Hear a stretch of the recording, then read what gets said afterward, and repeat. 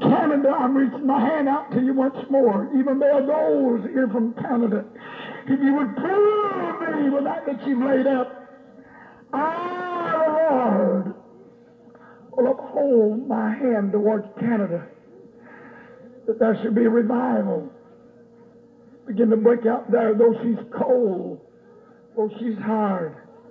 My shall go, for God has spoken. Thus, thus saith the Lord.